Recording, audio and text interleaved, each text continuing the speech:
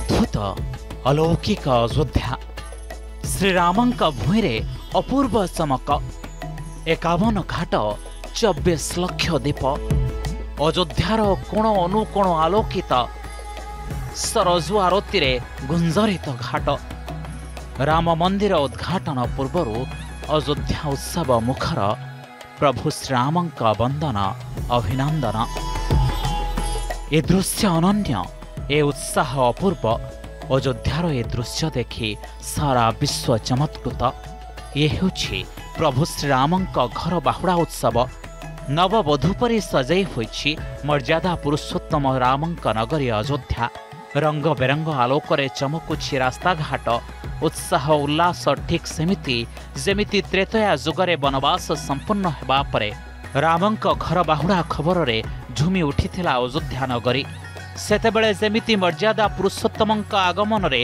ସବୁ ଘରେ ଜଳିଥିଲା ଦୀପ ଆଉ ଆରମ୍ଭ ହୋଇଥିଲା ଦୀପାବଳି ପର୍ବର ପରମ୍ପରା ଏଥର ସେମିତି ସଜେଇ ହୋଇଛି ଅଯୋଧ୍ୟା। ଏମିତି ତ ସାରା ଦେଶରେ ପାଳନ କରାଯାଉଛି ଦୀପାବଳି କିନ୍ତୁ ଅଯୋଧ୍ୟାରେ ଏ ପର୍ବର ଚମକ ଦିବ୍ୟ ଅନନ୍ୟ। ତା ସାଙ୍ଗକୁ ଯୋଗୀ ସରକାରଙ୍କ ଭବ୍ୟ ଆୟୋଜନ ଭଗବାନ ରାମଙ୍କ ବାହୁଡ଼ାର ଏ ପର୍ବ ପୂର୍ବରୁ ଅଯୋଧ୍ୟାରେ ଗତ ସାତ ବର୍ଷ ହେଲା ଭବ୍ୟ ଦୀପୋତ୍ସବର ଆୟୋଜନ କରାଯାଇ ଆସୁଛି।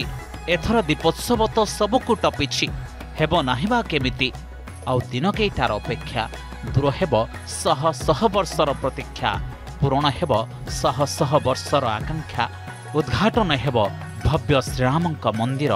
ରାମଲାଲା ହେବେ ବିରାଜମାନ ଏଥିପାଇଁ ଶ୍ରୀରାମଙ୍କ ନଗରୀରେ ନୂଆ ରୋମାଞ୍ଚ ଅଯୋଧ୍ୟା ସୁସଜ୍ଜିତ ଉଲ୍ଲସିତ ଅଯୋଧ୍ୟାର ଦୀପୋତ୍ସବ ଭଗବାନ ରାମଙ୍କର ଏହି ପୁଣ୍ୟଭୂମିରୁ ବିଶ୍ୱକୁ ଆଲୋକ ସଦ୍ଭାବନା ସୌହାର୍ଦ୍ଦ୍ୟର ବାର୍ତ୍ତା ଦେବାକୁ ଫୁଲ ରଙ୍ଗ ଓ ଦୀପରେ ସଜ୍ଜିତ ସରଜୁ ନଦୀର ଏକାବନଟି ଘାଟ ଆଉ ବିଶ୍ୱ ରେକର୍ଡ ପାଇଁ ଚବିଶ ଲକ୍ଷ ଦୀପରେ ସଜ୍ଜିତ ରାମଙ୍କ ପେଡ଼ି। ଦୁଇହଜାର ସତରରେ ଯୋଗୀ ଆଦିତ୍ୟନାଥ ଉତ୍ତରପ୍ରଦେଶ ମୁଖ୍ୟମନ୍ତ୍ରୀ ହେବା ପରେ ଅଯୋଧ୍ୟାରେ ଆରମ୍ଭ ହୋଇଥିଲା ପ୍ରଥମ ଦୀପୋତ୍ସବ। ବର୍ଷ ବଢ଼ିବା ସହ ବଢ଼ି ଚାଲିଲା ଦୀପ ସଂଖ୍ୟା ଦୀପୋତ୍ସବର ପ୍ରଥମ ସଂସ୍କରଣରେ ଏକ ଲକ୍ଷ ଏକସ୍ତରୀ ହଜାର ଦୀପରେ ଝଲସି ଉଠିଲା ସରଜୁ ଘାଟ ଦୁଇହଜାର ଅଠରରେ ଦୀପ ସଂଖ୍ୟା ବଢ଼ି ତିନି ଲକ୍ଷ ଏକ ହଜାର ହେଲା ଦୁଇହଜାର ଉଣେଇଶରେ ଚାରି ଲକ୍ଷ ଚାରି ହଜାର ଦୁଇହଜାର କୋଡ଼ିଏ ଦୀପୋତ୍ସବରେ ଜଳିଲା ଛଅ ଲକ୍ଷ ଛଅ ହଜାର ଦୀପ ଦୁଇହଜାର ଏକୋଇଶରେ ନଅ ଲକ୍ଷ ଏକଚାଳିଶ ହଜାର ଗତ ବର୍ଷ ଅର୍ଥାତ୍ ଦୁଇହଜାର ବାଇଶରେ ପନ୍ଦର ଲକ୍ଷ ଛଅସ୍ତରୀ ହଜାର ଦୀପ ଜାଳି ରେକର୍ଡ କରିଥିଲେ ଯୋଗୀ ସରକାର ଆଉ ଏଥର ତ ଚବିଶ ଲକ୍ଷ ଦୀପ ପ୍ରଜ୍ୱଳନ ସହ ପ୍ରତିଷ୍ଠା ହେଲା ନୂଆ ବିଶ୍ୱ ରେକର୍ଡ। ଅପରାହ୍ନ ଚାରିଟାରେ ଦୀପୋତ୍ସବରେ ସାମିଲ ହେଲେ ମୁଖ୍ୟମନ୍ତ୍ରୀ ଯୋଗୀ ଆଦିତ୍ୟନାଥ। ସାଙ୍ଗରେ ୟୁପି ରାଜ୍ୟପାଳ ଆନନ୍ଦିବେନ ପଟେଲ। ମର୍ଯ୍ୟାଦା ପୁରୁଷୋତ୍ତମଙ୍କ ସହ ମା ସୀତା ଓ ଲକ୍ଷ୍ମଣଙ୍କ ଚରିତ୍ରରେ ଆସିଥିବା କଳାକାରଙ୍କୁ ରଥରେ ବସାଇ ରାମକଥା ପାର୍କକୁ ଆଣିଲେ। ପୁଷ୍ପମାଳ ଦେଇ ସ୍ୱାଗତ କଲେ।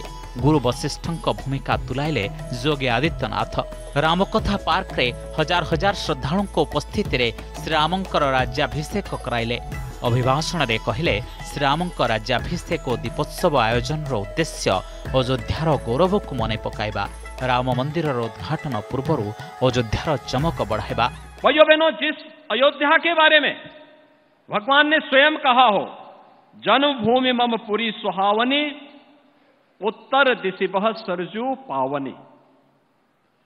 यानी जिस अयोध्या धाम की महिमा को प्रभु अपने श्रीमुख से गा रहे हो, उस अयोध्या धाम के लिए कुछ भी योगदान दे देना, ये जन्म और जीवन दोनों को धन्य करने जैसा होगा।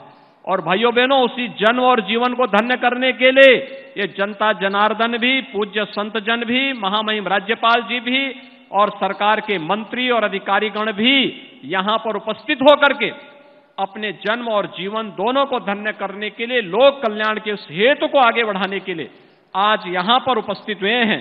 और भाइयों बहनों उसी अभियान के लिए आज हम सब आपसे कहने के लिए आए हैं कि अयोध्या के बारे में भगवान ने एक और बात कही कि अति प्रिय मोही यहाँ के वासी, यानी यहाँ के वासी मुझे बहुत प्रिय हैं। ଏଥର ଦୀପୋତ୍ସବର ଅନ୍ୟତମ ମୁଖ୍ୟ ଆକର୍ଷଣ ରାମଙ୍କ ଜୀବନ ସହ ସମ୍ପର୍କିତ ଏ ପ୍ରଜ୍ଞାପନ ମେଢ଼ ସବୁ।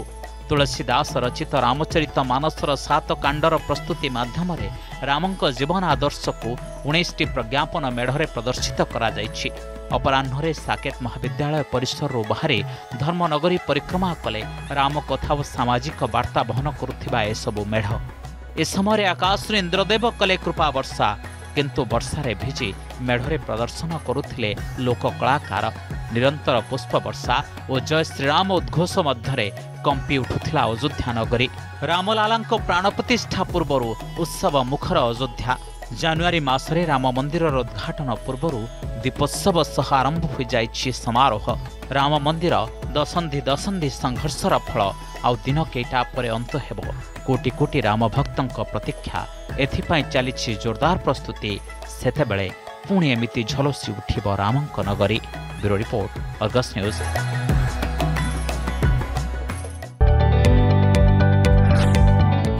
ଯଦି ଆପଣଙ୍କୁ ଆମ ଭିଡ଼ିଓଟି ଭଲ ଲାଗିଲା ତେବେ ଆମ ଚ୍ୟାନେଲକୁ ଲାଇକ୍ ସେୟାର ଓ ସବସ୍କ୍ରାଇବ୍ କରିବାକୁ ଜମା ବି ଭୁଲନ୍ତୁ ନାହିଁ।